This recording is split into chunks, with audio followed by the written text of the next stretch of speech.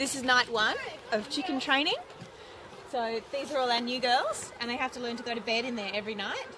Um, it helps them to lay their eggs in there in the, in the mornings, but it also means that we can put them in there and move them if we have to move them to a different place. So they don't like to go in. So what we have to do is we have to keep them moving. So we're always walking around, keeping them moving, chasing them out from underneath. Because what happens is the evening wears on and it starts to get dark, they start to huddle in a corner like this. They're starting to think about huddling, and you want to break that up. So you've got to walk in there and keep them moving, always keeping them moving so that they don't form a little huddle. Because once they've formed a huddle, it's very hard to keep them moving and get them in the trailer. And under the front there, Kristen. Yeah, so they love to go underneath the trailer and huddle in there to sleep. Um, so we have these big white sticks that um, they're pretty gentle on the birds, and we can use those. They make a bit of noise, and we can use those to wiggle them around to help chase the chickens out from underneath the trailer because I don't want to have to climb in there underneath. And part of also the secret is having the lights on there, isn't it, Kristen? You, Yeah, the lights are really important. It helps them to see where they're gonna where they're gonna go.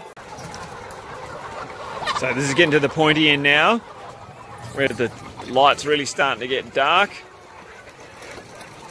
And uh, you have to be looking for the behaviour of the chickens looking up into the trailer. I don't know if you can see the heads there. They're looking up. They're really interested in getting up into the trailer, and that's what you've got to encourage. I don't know if you can see Noemi over there. She's just walking back and forth. And any huddles, like this one piling up against the fence there, you need to break them up and direct them back over to the trailer.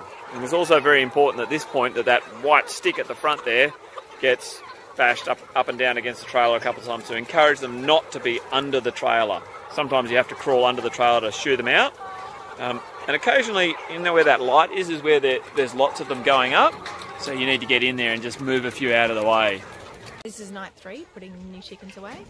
Um, what we're looking for at this time is that all of the birds are starting to go to bed on their own, and the ones that are not quite in there yet are looking.